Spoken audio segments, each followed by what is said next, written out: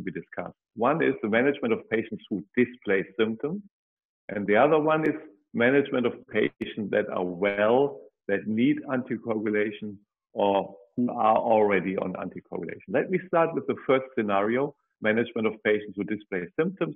And the question there is, should OAC treatment be continued or not? We know that the patients with COVID symptoms are at increased thromboembolic risk. So the question is, should we continue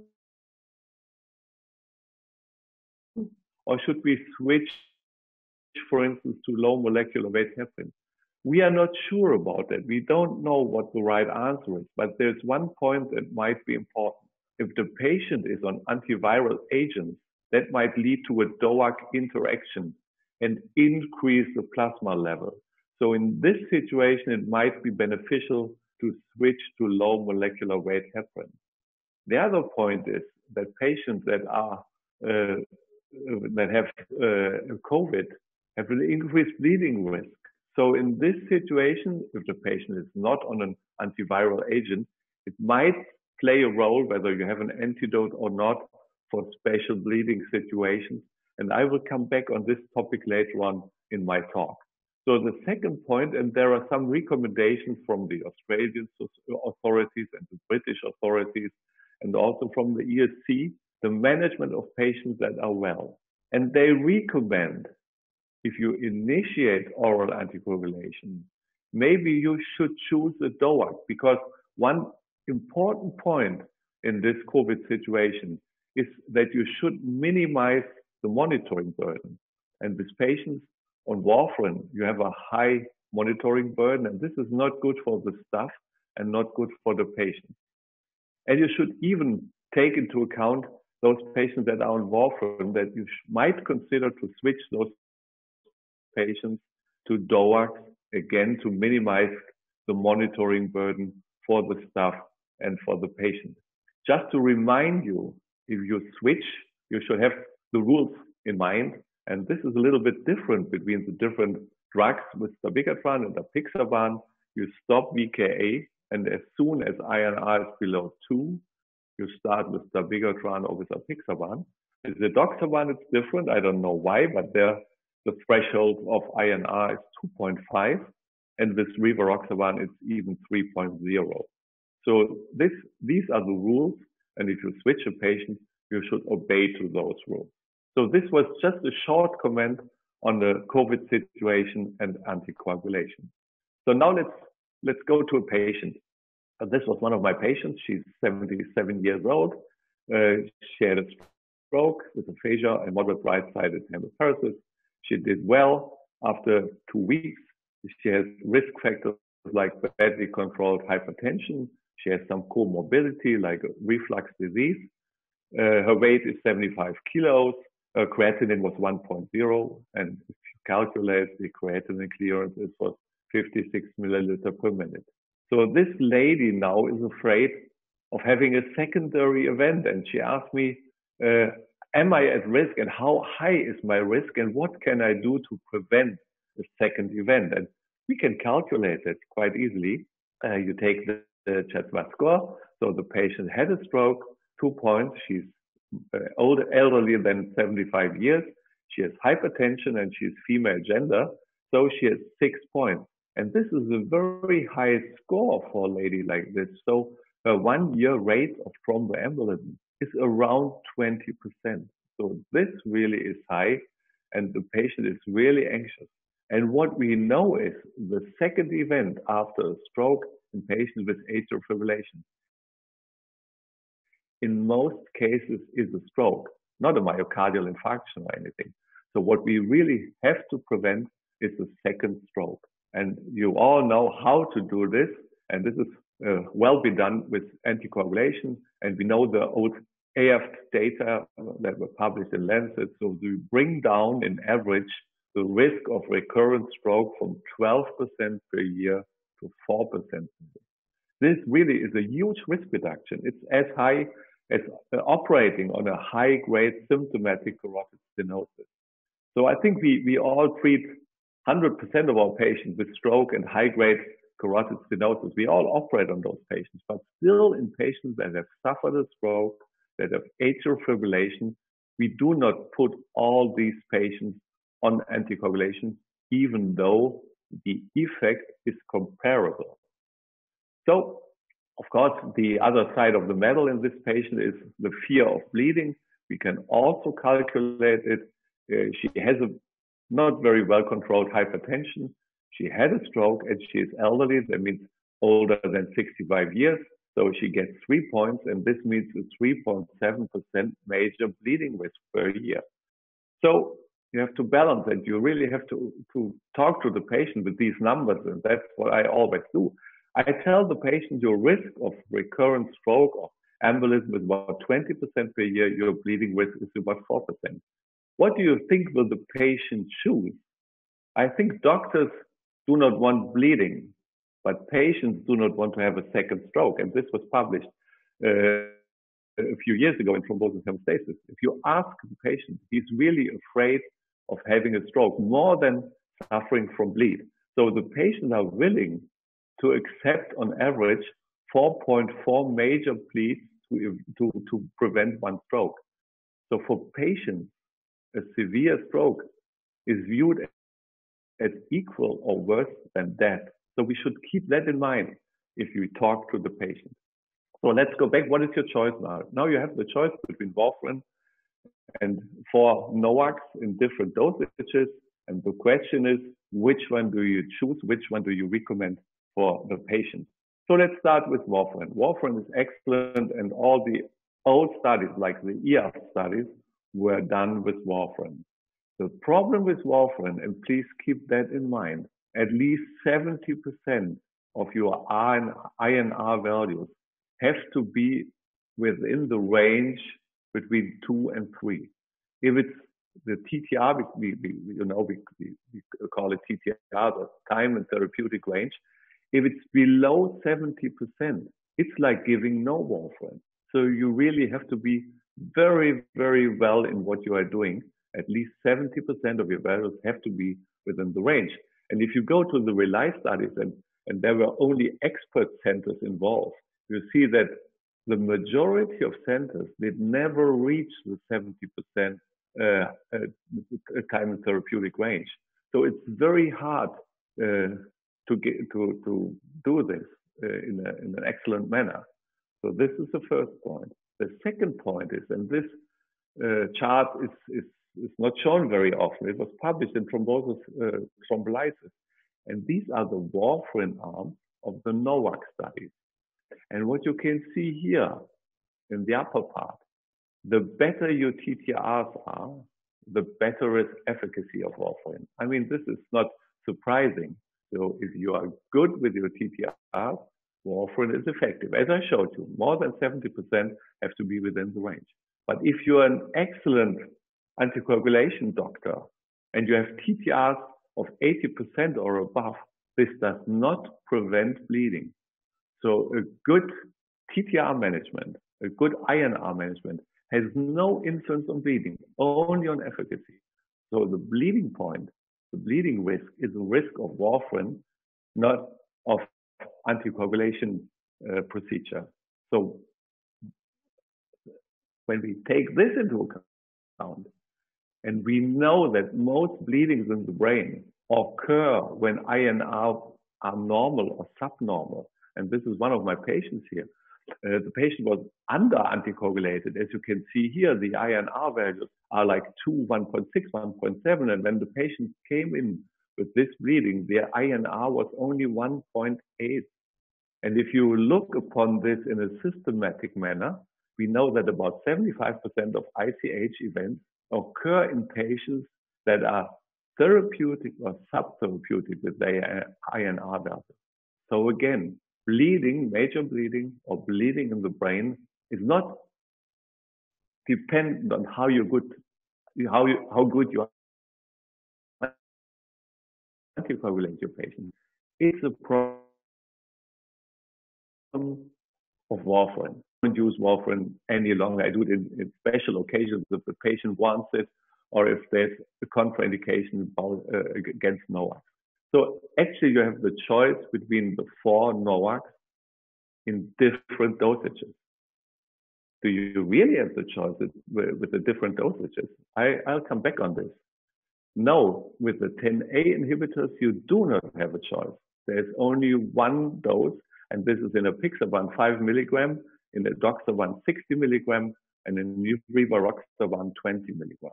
Only if you have certain conditions like high age, low weight, high creatinine or creatinine clearance, you are obliged to reduce the dose. You have no choice. Only under certain circumstances, you should take the reduced dose. And if you go back to the studies, the phase three studies, you can see that this was done in 5 to 25% of patients in those studies.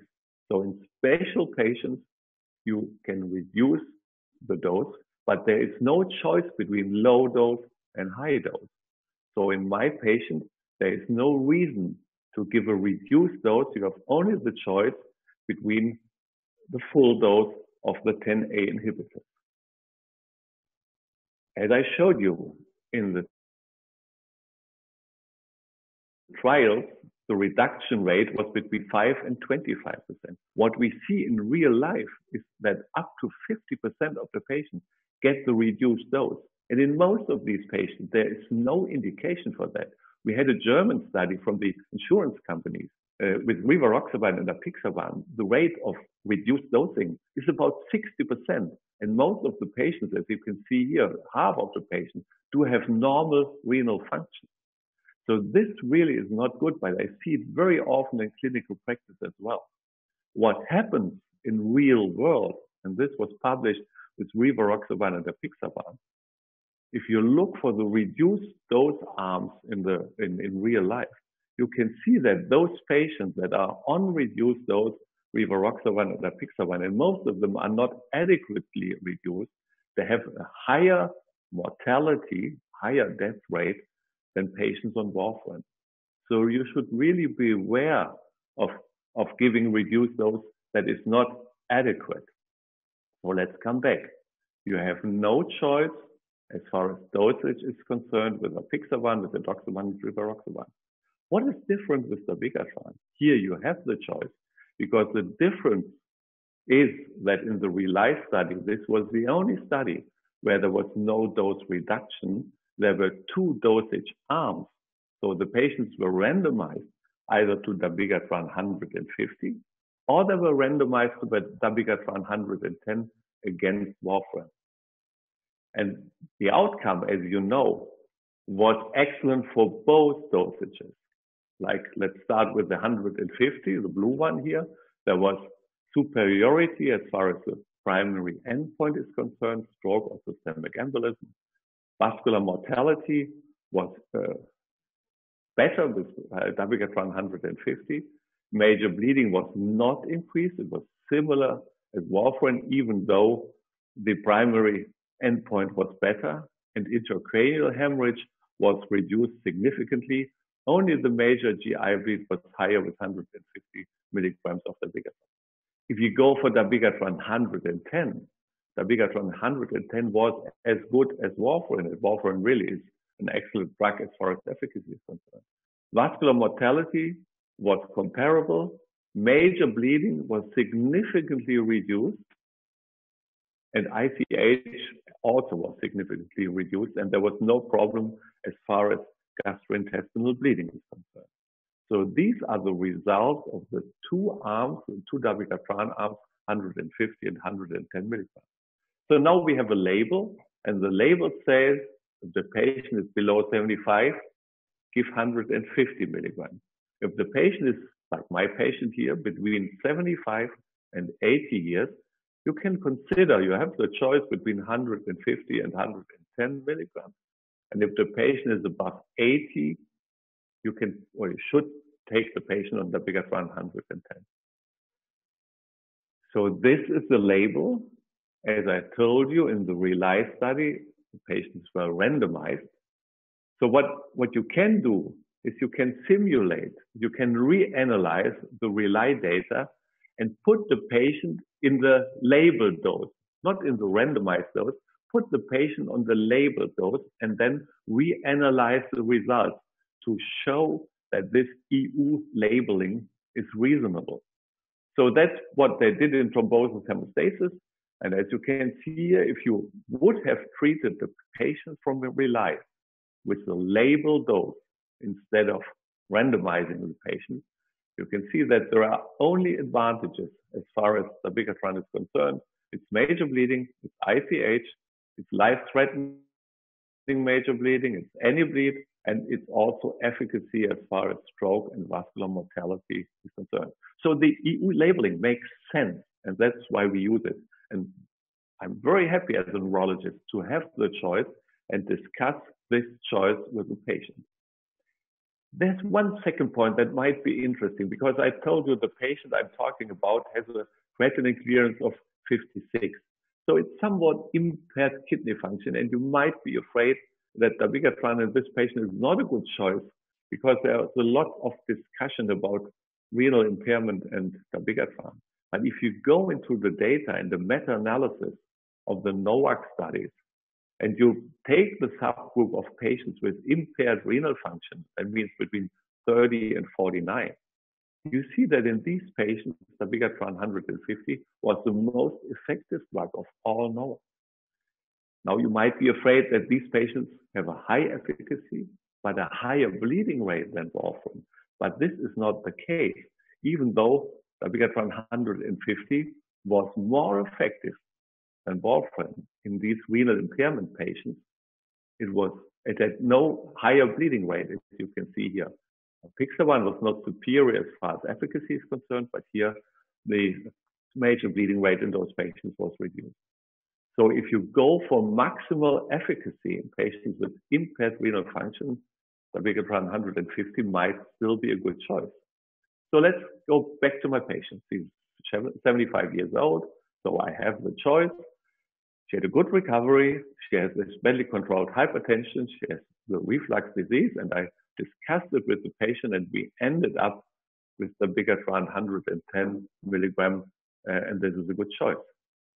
And the second point, and now I come to my experience with a reversal agent. If I discuss this situation, this decision with the patient, they always ask, because they have read in the newspapers, they always ask, do you have an antidote? And with warfarin, you know, I have to say no. And with dabigatran, I can say yes. And I will go through some data and some personal experience with the reversal agent with you. So again, what you have to discuss with the patient, if you do anticoagulation, you have two goals. One is to prevent brain infarction, and the other one is to prevent bleeding with anticoagulation. So here again, here's the data synopsis of all NOAC trials, and you can see that there was superiority with dabigatran and apixaban, and intracranial bleeding was reduced in all NOACs, but there are some uh, results are similar, some are superior with the NOACs. And uh, I think NOACs in secondary stroke prevention always is a good choice. Uh, these were the study data. How does it look in, in real life? And here again, it's very good to know and very reassuring to know that in all real world data, dabigatran, as far as major bleeding is concerned, was superior to warfarin. But still, risk reduction does not mean risk elimination. What we know from the study, and this is true for all NOACs, there still is a residual risk of major bleeding complications. And you can see it here. It's like 2 to 4% per year. And we know that, and this is true for all NOACs, that this risk goes up in a linear fashion. So what is 4% today is like 20% in five years. And I hope that you and me treat the patient not only for one year, we treat them for many years. So the patient has some reasonable risk to suffer from, uh, from one kind of hemorrhage. So it's not hypothetical that there might be a bleeding with oral anticoagulation. It's there, and we need to have a plan how to treat patients in a situation like this. So let me start uh, with a patient of mine. This was the first patient that was treated with idarucizumab in Europe after the label. And this was a patient who was on dabigatran and he has taken the drug about six hours ago. And he came to our emergency room. And if you see a bleeding like this in an elderly patient, so this, this patient has a bad prognosis. Uh, the thrombin time was high. It was like 120 seconds. So you know the patient has taken the drug. He was something like almost 80 years old. So what can you do with a patient like this? Of course, you cannot make the bleeding go away. It's an oral anticoagulation associated hemorrhage. The problem for the patient is the growth of the bleeding. The hematoma growth is critical for the patient and has a very strong influence on outcome. So what you should prevent is the growth of the bleeding. And you can see here one hour really makes a difference. So the bleeding is growing fast. NOACs have a lower bleeding rate in the brain. But if you have a bleeding in the brain, mortality is as high as in a warfarin associated intracranial hemorrhage. So there is no protective effect. If you get your OAC associated bleeding in the brain, it doesn't make a difference whether you are on warfarin or whether you are on an oral anticoagulation, the NOAC uh, drug. Mortality always is as high as between 30 and 50%, depending on risk factors and age of the patient. So what can you do? And we know it from the elderly trials with warfarin. You have to normalize blood pressure and you have to normalize coagulation very rapidly. And if you do so, if you normalize the coagulation system, then you have a better prognosis for the patient. So what you can do in a patient on a NOAC, you can of course normalize the blood pressure and you can also normalize the coagulation situation. And this can be done with idarucizumab. Idarucizumab is a specific reversal agent for dabigatran. It's an Uh, antibody fragment. It has a high, very high affinity. You give it via IV administration. It has an immediate onset of action, as I will show you. It has an, a half-life that is short but long enough. And what is very important, in some situations, as I will show you later, there is no intrinsic procoagulant or anticoagulant activity. This is important. Keep that in mind. So there was this reverse study. I think most of you know the results of the reverse study. And what, what was specific in this reverse study was there were two groups. Group A was in life-threatening bleeding, and Group B, and the reverse study and idarucizumab is the only drug that had group A and group B, so bleeding and emergency procedure. The endpoint was normalization of the thrombin time within four hours. And then, of course, there were some secondary clinical outcomes. And the result was that in group A, the patient with a life-threatening bleeding with idarucizumab, the thrombin time was normalized immediately. So you give two vials and after the first vial, there is complete normalization of the TT values. And if you look for bleeding cessation, uh, it, it, depends on what kind of bleeding you had, but if you had some visible bleeding, uh, the cessation was achieved uh, after two and a half hours. So these were very good results, but we are interested not in any major bleeding. We are interested in the intracranial bleeding. And there were about 98 intracranial bleedings that occurred while the patient was on dabigatran. And here in these 98 patients, the mortality, of course, this is a disadvantage of this kind of studies. There was no control group.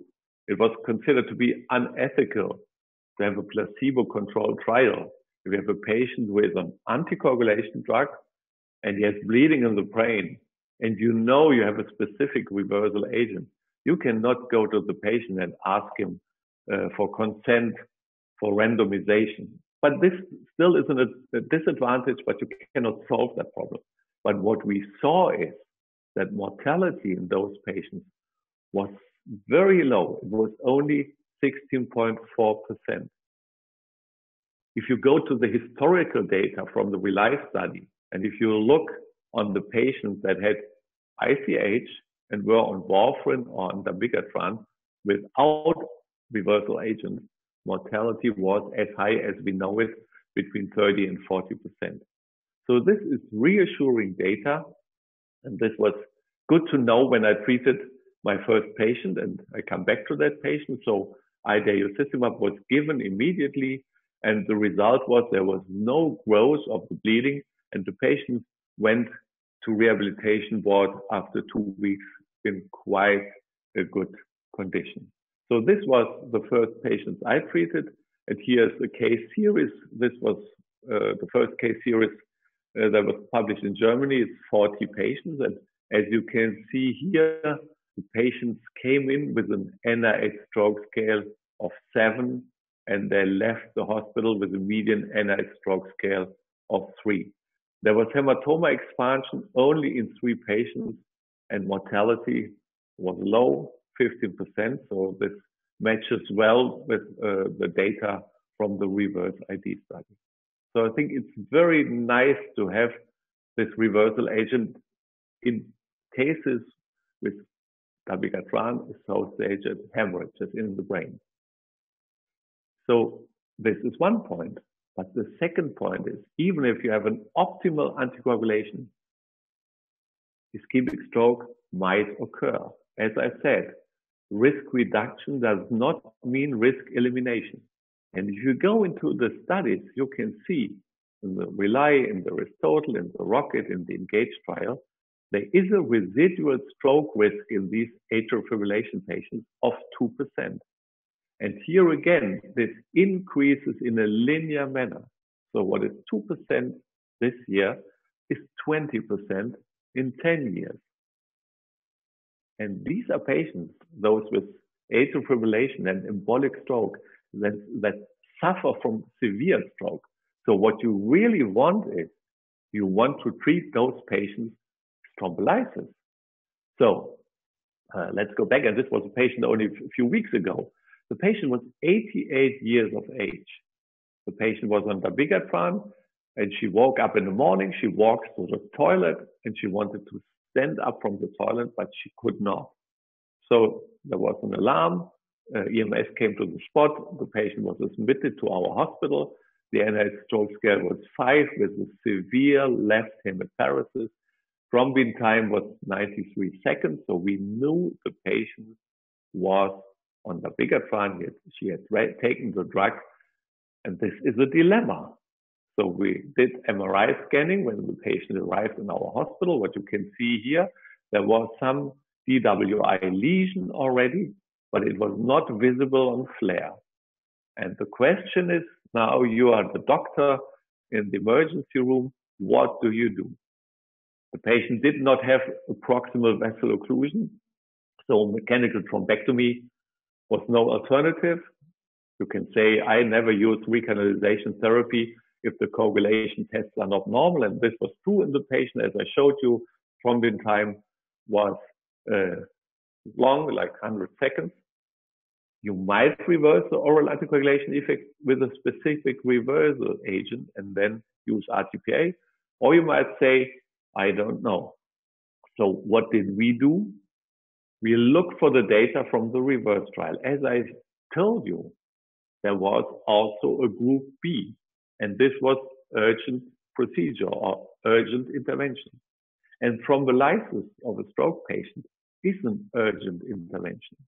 And in these patients, again, it was shown that idarucizumab can normalize thrombin time within minutes. And if you ask the surgeon, and most of the cases were surgical case, cases, if you ask the, the surgeon, how did you feel hemostasis? Was it a normal hemostasis or was it hemostasis of a patient that is on oral anticoagulation? 93% of the surgeons said this was a normal situation. It was like in a patient without oral anticoagulation. So you now you can normalize coagulation values with idarucizumab. So the question is, is it allowed to do so? Is it according to the label to treat a patient who is on the bigger dabigatran and suffers from ischemic stroke? Is it allowed to normalize the coagulation situation with idarucizumab and treat the patient with alteplase then? Let's go to the uh, uh, label. Yeah, if a patient is on the bigger dabigatran and you have normal coagulation assay, you are allowed to treat this patient with thrombolysis. Idarucizumab has the indication for urgent procedures. By the way, andexanet alfa, which is a reversal agent for the 10A inhibitors, does not have the indication for urgent procedures. It only has the indication for bleeding. So in this situation with 10A inhibitors, you are not allowed to antagonize uh, the uh, NOAC. And you are allowed to give alteplase if coagulation tests show no clinically relevant activity. So if you take all this information together, if you have a patient that suffers ischemic stroke on the dabigatran, you are allowed to normalize the coagulation situation with idarucizumab first and then treat the patient with alteplase. So as I showed you, we did the MRI scanning and then the patient was treated with idarucizumab, and 10 minutes later, we administered RTPA in this patient. And what was the outcome of the patient? You can see the patient after two weeks walking on my ward, and she went to rehabilitation and had a very good outcome. Again, it's an 88 year old woman with a severe stroke, with severe hemiparesis, with other NOACs or with warfarin, you could have, you would have no choice. The patient would have been lost. So in this situation, we were very happy to give this combination therapy.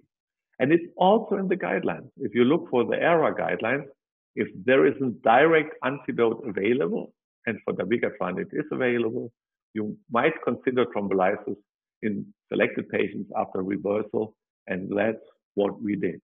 And these are the first results that we recently published in the International Stroke Journal this year. And these were 80 patients, and these 80 patients came in with an NIH stroke scale of nine. And we treated all these patients with idarucizumab first and then with RTPA.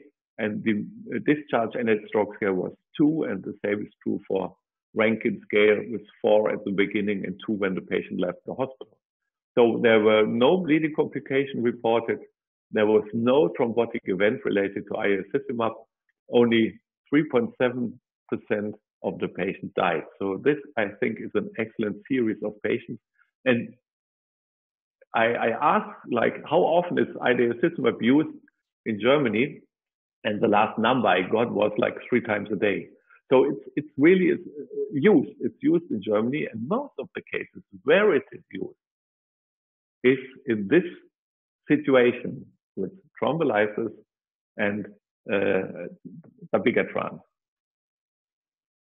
As I told you, in Germany, it's three times a day that it is used.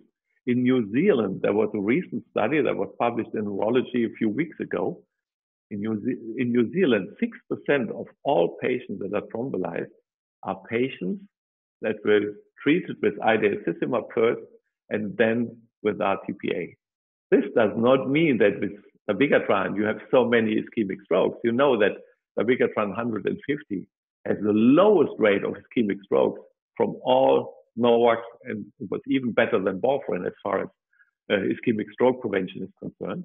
But this is the only situation where you can thrombolyze a patient that is on a NOAC. And this is a patient with dabigatran because you have a specific reversal agent.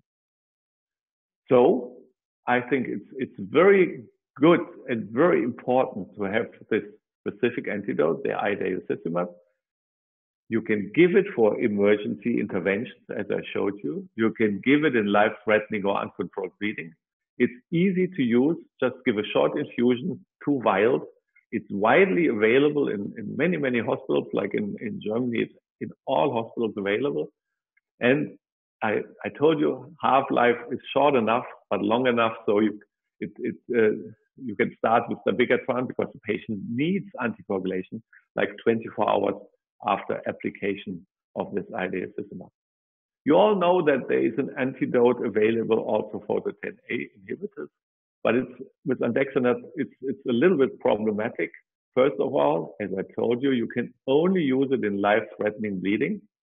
Then there is a problem. There might be transient procoagulant signals. There are still studies going on, but the most important point is it's so expensive that even in a in a somewhat rich country like Germany, we cannot afford to buy it. So, in like in my hospital, it's not available. Uh, idarucizumab has a reasonable price, like PCC. So uh, that's why we have it in, in all hospitals in two or three spots, like in the emergency room, we have it on the stroke unit, and we have it uh, in the operating room. So these are really important differences. And did you ever use andexanet alfa? If you did, it's very, very hard to use it because you need many, many vials uh, until you reach uh, the, the concentration you need for the patient. And then it's a continuous infusion that you need. So it is theoretically available, but I don't have it. And uh, I don't know any hospital in my surrounding that really has andexanet alfa. So let me sum up, and I hope I could give you some uh, information that you didn't know before. Uh, we know that from the randomized controlled trials that the NOACs are the drugs of choice in patients in secondary stroke prevention. What we should keep in mind, if we use them, we should use them at full dose. There is a trend of underdosing, inadequate underdosing, and I showed you that then the patient is left at risk of death. Only, as I showed you with the bigger dabigatran, you have a choice between low dose and high dose, and you can discuss it with the patient. I'm very happy that we have a specific reversal agent with idarucizumab. And uh, as I showed you, if the patient is on NOAC therapy and suffers from ischemic stroke, as I showed you, 2% per year, you have a choice to treat this patient with intravenous thrombolysis if the patient is on dabigatran in the other NOACs or with warfarin. You don't have this opportunity. So this was my summary. It was it was nice speaking to you. I hope it was nice for you listening to me. Thank you very much. Oh, thank you, Professor Grond, uh, for uh, uh, establishing and emphasizing on well-judged use of NOACs and the advantages of NOACs over warfarin in this patient population. Uh, so you also emphasize its advantages, even the long-term as well as uh, immediate uh, short-term. thank you for that. And we have a, a handful of questions. let's take one by one. So first question is from Dr. Jairaj Pandyan here. Uh, the question is, patient with uh, atrial fibrillation on NOACs develops COVID. How to monitor the OAC activity? They also need to be given low molecular weight heparin. How to decide? Pursue uh, low molecular weight heparin.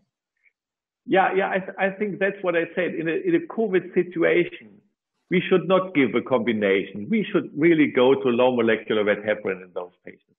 Uh, because then you really get into trouble. If you have a you know, like like with heparinoids, 10A inhibitor, and then you have the, the dabigatran or another NOAC, you shouldn't do that. So treat the patient with low molecular weight heparin or with unfractionated heparin. I mean, this also is an option. We we have forgotten about this option uh, nowadays. Uh, so I, I would go to, for a single therapy. Oh, Thank, thank and unfra unfractionated, un unfractionated heparin, you can just stop, and then after two hours, uh, uh, the activity is gone. Uh, uh thank, thanks, Dr. Brown. Uh, uh, let me read out the next question here. Um, this is regarding switching between NOACs. there are a couple of questions related to that. On what occasions do we switch between the NOACs from one to another? It includes rivaroxaban to uh, dabigatran, and there is one other question which asks about uh, uh, where would you choose apixaban and dabigatran. To be honest, uh, I take a choice only between apixaban and dabigatran because you know we, we have from the from the from the studies. We know that only apixaban and dabigatran were superior to warfarin. Edoxaban and rivaroxaban were similar. So if I have a choice, why not take the best? And the and dabigatran are the best. And so uh, for me, you can take the, the one or the other. The advantage of the bigger one, and that's why I discuss it with the patient, is the reversal agent. In my country, this really plays a role because the patients are informed. They know about it. And they have always asked for reversal agent when we did not have one. Now where we have it, it's really vividly discussed. So from the efficacy and safety point of view, apixaban and dabigatran is a good choice. Well, rivaroxaban is out in my country nowadays because the real life data showed that there might be an increased bleeding risk. And this once daily dosing may be too low. So uh, I told you, you, you have the choice between the two and switching from one NOAC to the other. I do not do it very often. I mean, if the patient suffers a stroke on rivaroxaban and edoxaban, of course, I, I put the patient on apixaban uh, or on the dabigatran because they are superior, as I told you. So sometimes I switch them because I like those two drugs most. But there's no reason, uh, scientific reason to do so. Uh, the next question is from here is from Dr. Sudhir Kumar. Uh, starts with the case scenario. A 75-year-old male non-valvular AF on dabigatran 150 milligram BID developed an ICH, reversed with idarucizumab. How soon can we restart dabigatran? This is a very good question. Uh, so the guidelines leave you a little bit alone. They they they, they say like after 10 days or so. For me, I wait. This is my personal decision. I wait two to four weeks. I feel a, little safer, as I sh showed you with the bigger dabigatran, because I have the reversal agent in, in, in case there might be a second bleeding. So what I do is, and this is very practical, this is the no guideline. What I do is after bleeding that is not, you know, devastating, I start with dabigatran 110, always with 110, because I know this is a fully tested dose for the next two weeks. And if the patient needs 150 because he's young or whatever, then I switch from 110 to 150. So start low and slow, and then go on the on the on, the, on a high dose if the patient needs it. But this is my personal advice. And in patients that have already suffered brain hemorrhage, I really like to put those patients on the because of the reversal agent. They have a higher risk of bleeding. So I really need a widely available reversal agent. Uh, thank you, doctor. The next question here is, a patient on dabigatran develops a large vessel occlusion ischemic stroke. Uh, direct mechanical thrombectomy or use Praxbind followed by mechanical thrombectomy? The question is from Dr. Pandya. Yeah, it, it depends on, on, on, the, on the timeline. If the patient comes to a hospital where thrombectomy is not available, then I do this idarucizumab and thrombolysis and then send the patient to a thrombectomy center. If the patient comes to a thrombectomy center, like to my center, I will go directly to the thrombectomy unit. So it, you, you have you also have the choice. Like transferring a patient can take an hour or so, depending on your local circumstances. So you have both options. If the patient comes to a center, do thrombectomy right away without, you know, uh, idarucizumab and, and thrombolysis. But if you have a transfer situation, then do the bridging. Uh, the next question here is from Dr. Preeti. Uh, the question here is uh, a case of stroke with uh, acute myocardial infarction. How would you approach anticoagulation, NOACs or VKA? Yeah, um, again, uh, you know that like in the RE-LY study, there was co-medication of dabigatran and aspirin in a, a, few patients, but still there was uh, quite good data available. You can combine anticoagulation with aspirin. And you should do.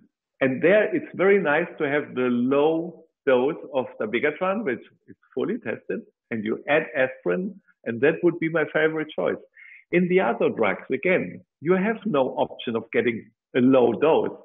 So this is a typical situation where I prefer uh, dabigatran. 110 plus 100 milligrams of aspirin, and that's a good choice. Uh, For a year, you know, after after one, after one year, the, the, if they have a stable coronary artery disease, after one year, you can stop aspirin, and that, then you can give whatever you want. Thank you, Professor. Uh, Professor, there are a couple of questions reg regarding uh, COVID-19. Uh, any experience of using dabigatran in COVID-19 induced thrombotic stroke, multiple cerebral infarcts due to arterial thrombosis? Uh, we are seeing such cases in Hyderabad, India. Uh, this is from Dr. Sudhir Kumar. Yeah, uh, to be honest, I I haven't seen cases like this. So uh, on this topic, I'm really not an expert. We are the COVID center in, in, in the middle of Germany where I work, but we didn't have any severe cases like this. So uh, I think you're you're more experienced uh, like me, so I cannot give a, a, good answer to that. You should advise me. we were lucky in in in our country. Uh, Professor, there is one more question related to COVID positive patients uh, having lacunar infarcts. Um, is there a role of uh, uh, oral anticoagulants? I mean, it's it's really hard to say. What I know from the data, of course, if you have a, an infectious situation, there are always more strokes. There are more uh, embolic strokes. There are more uh, thrombotic strokes because of uh, the, uh, the, the, the infectious situation. So for me, you should treat those patients as any other patient who suffers from a lacunar stroke, and this is antithrombotic treatment. Uh, I'm not sure about this, but there's no real good data in the literature. We all know that even with with any other infection, there is an increase in stroke manifestation. So whether this really is uh, due to specific COVID infection. I'm not sure about that. Treat them as always. Uh, uh, Professor, uh, there's a question from Dr. Nizam. Uh, the role of Novavax in valvular heart disease uh, patients? No role. They are. it doesn't work. They they need something else. nobody knows exactly why but uh, they need warfarin. So you can't get out of that dilemma. It's a pity. You know, there was a study that tested the dabigatran in valvular disease, and it didn't work. So uh, this is only for atrial fibrillation. We have some data uh, on uh, sinus vein thrombosis now.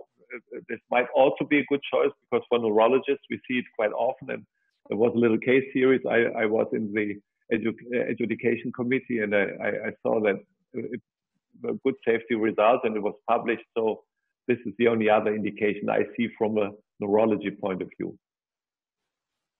Uh, Professor, there is a question here. Uh, is there a uh, chance of change in hematocrit values uh, in patients, anemic patients taking dabigatran? No, I don't think so. Uh, um, the, there is another question from Dr. Sudhir Kumar starts like this. Unrelated to today's uh, talk, uh, if you could answer, uh, any experience of using uh, dabigatran in cerebral venous sinus thrombosis? Yeah, uh, uh, we, we do it. We do it because the data is available. The data was published. I think it was in Lancet Neurology. And what we do if the patient has sinus vein thrombosis, we, we administer dabigatran 150 twice daily for you know most of them half a year. And yeah it it, it works well. So the, the, you know this was not a superiority trial. It was just a, a, a, small trial with 100 patients but it showed that there was no risk for the patient and there was no recurrent sinus vein thrombosis in those patients. So this might be a good choice. I'm not sure whether this is on label or off label uh, because you know you, you have an indication for venous thrombosis and uh, whether sinus vein thrombosis is venous thrombosis or not, you can you can you know uh, struggle about it, but but I, I, we do it, yeah, because data is there and it's, and there's no by the way there's no good data available for warfarin. We use it, uh, and now it's very good to to see that you know uh, NOAC, uh, dabigatran might be a choice. Uh, Professor, could you uh, once again reiterate when do we restart uh, a NOAC after the patient is uh, having a stroke and uh, appropriately managed? Do you mean ischemic stroke, right? Yes, sir. Yeah, yeah. You know, there, there is, you, you, know, maybe this Diener's role. Diener is a, a German colleague of mine, and you know, he he says that you know, if you have a TIA or mild stroke, it's like after three to five days if you have a more severe stroke in the second week, and if you have a devastating stroke, you might ask yourself whether anticoagulation is an option. So we normally start in the first week, but this is three, six, nine uh, rule after three days, after six days, after nine days, depending on the on the size of the infarction. And please keep in mind, I mean, when we were in the era of warfarin, you start warfarin today, but it works after four or five days. If you give dabigatran, it works after two hours. So don't be as fast as you were with warfarin, but I think the first week is no problem. Uh, thank you, Professor. We, we have uh, answered all the queries. Uh, uh meanwhile, uh, a question from my end. Uh, you emphasized saying that there has been a use of greater use of reversal agent in your setting. So, uh, from a neurologist perspective, how important uh, is a, a, reversal agent uh, in the management of anticoagulation care in patients with non-valvular AF? I, I think it's like an airbag in a car. It's it's important to have it. You you use it only once in a while, but then you're very happy to have it. And uh, for me, it's very reassuring to have it. And this is why most neurologists in Germany uh, they prescribe dabigatran because they know the problems. They see the strokes. They see the hemorrhages. The cardiologists, they don't care because they don't see the consequences of what they are doing. So in, in, in my country, uh, in neurologists, it's, it's really not because you are from Boehringer. In, in, in my country, dabigatran is number one in neurologists. Thank you, Doctor. One last question before we close for the day. Uh, what is the effectiveness of uh, uh NOACs, uh, including dabigatran, in patients with previous stroke or prior stroke or TIA? Yeah, there was subgroup analysis in all NOACs uh, patients with secondary stroke prevention. You know, there was between 20 and 50 percent in the different studies that had already suffered a stroke. And here again, it was like the main results of the study, superiority for apixaban and dabigatran and uh, in the full cohort, dabigatran 150 was the only one that was superior as far as ischemic stroke prevention is concerned. So in secondary stroke prevention, it's the same as in the whole result, the whole study result. Uh, uh, thank you, Doctor. We have uh, uh, uh discussed all the questions that are pertaining to non-valvular AF and from a neurology perspective. it was great having this discussion and webinar with you. And uh, we also hope that our attendees value the sessions uh, as much as we do. Uh, thank you once thank again. Uh, thank yeah. you very much for the, for, for, the people that listened to me. It was a pleasure to talk to you, even though I didn't see you. Uh, sure, Doctor. We would also extend our sincere thanks to our attendees for joining us and uh, keeping posting questions and having an interactive session. And we look forward to have such scientific discussions in the near future as well. Thanks once again, and uh, we would like to close it for the day. Bye bye.